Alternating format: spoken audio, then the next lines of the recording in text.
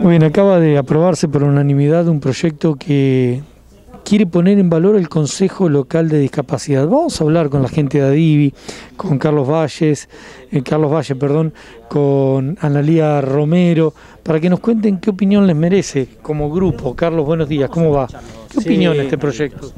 Y hubieron varios artículos que no estamos muy de acuerdo, que las personas con discapacidad no tenían ni, no tenían ni voz ni voto. Eh, los otros, cuando se armó este proyecto, a nosotros nunca se lo invitó. Este proyecto hace una semana que lo había retirado de acá de la presidencia del Consejo.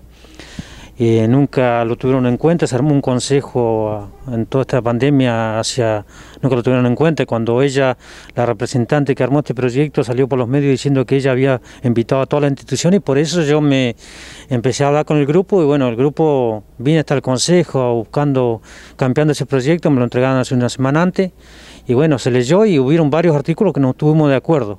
Así que Analía, ¿cuáles serían estos articulados que ustedes piden que se reformulen al menos? Y nosotros pedimos primero que se está hablando de un consejo de y para personas con discapacidad, donde, como dice Carlos, ni siquiera se nos consultó en la conformación de este proyecto de ordenanza. Entonces, si hablamos de un consejo de personas con discapacidad donde no participan las instituciones o las personas con discapacidad, ya estamos arrancando mal. Es como, puse el ejemplo ahí en la banca del pueblo, es como hablar de un consejo de mujeres y que no haya mujeres, que esté representado por hombres. Entonces, si hablamos de un consejo de personas con discapacidad, tiene que haber personas con discapacidad. Adivi es una institución que todo el mundo conoce, hace 12 años que nosotros trabajamos y no fuimos siquiera consultados o al menos avisados, suponiendo que bueno, se les pasó. Pero necesitamos que en este, en este proyecto, en esta ordenanza, se cambien un par de cosas. Por ejemplo, que dice que el Consejo Local sería el único órgano consultivo para la municipalidad. Nosotros creemos que eh, hay muchas or- organizaciones, no solo la nuestra, sino la de las chicas con discapacidad auditiva, el gremio de UNTER que tiene el área de discapacidad, el equipo de inclusión del Instituto de Formación Docente está haciendo un gran trabajo. También pueden ser órgano consultivo de la municipalidad en temas de discapacidad, de accesibilidad, Pero no quedaron dentro de la conformación porque recién lo explicaban los concejales, va a haber un referente de cada organismo, ¿no pueden allí tener la posibilidad de participar?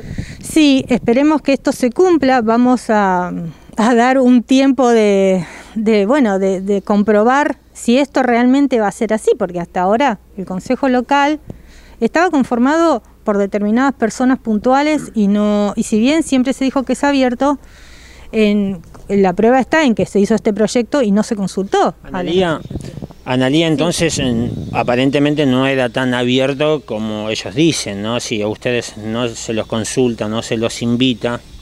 Claro, y además en todo este tiempo de pandemia, por ejemplo, Carlos, como presidente de Adivi, estuvo tratando de participar de las reuniones, preguntando cuándo había reuniones, y bueno, y nunca, eh, o sea, buscando participar, y nunca tuvo la oportunidad. Y esto que dice Carlos, de que las personas con discapacidad tenemos que tener voz y voto, porque es un consejo de personas con discapacidad. Sí, Analía en este sentido, lo acaban de, de hablar y de decir, siempre los considerando son maravillosos los argumentos, pero después en la práctica eh, no ocurre, la inclusión sobre todo. La inclusión es lo que, lo que expresé ahí en la banca del vecino, eh, representando a Divi, que mm, eh, tenemos que cambiar esta mirada de que las personas con discapacidad tenemos que ser representadas o tiene que haber personas sin discapacidad que hablen por nosotros. Y no es así. Nosotros somos perfectamente capaces de estudiar las leyes, conocemos las leyes, conocemos la convención. Y la convención por los derechos de la persona con discapacidad su lema es, nada sobre nosotros sin nosotros. Entonces, nada de temas de discapacidad sin personas con discapacidad. De eso se trata la convención. Bueno, finalmente Valle fue aprobado por unanimidad. ¿Cómo sigue entonces ahora este Consejo Local eh, de Discapacidad? Quizás ahora lo incluyan a Divi. Sí, ahora lo van a incluir nosotros, los otros vamos a participar. Yo me hago cargo y soy consciente, Fabián, se lo digo a todos los medios, a todos los vecinos de Bolsón, que muchas veces participé en anteriores consejos, pero como está, como siempre era larga, se hacía extensiva, me había retirado. Pero ahora en este proyecto exigen a cada institución que mande un representante y no, no estando en las reuniones, en dos, tres reuniones, ya no tiene no, eh, no tiene participé en este consejo.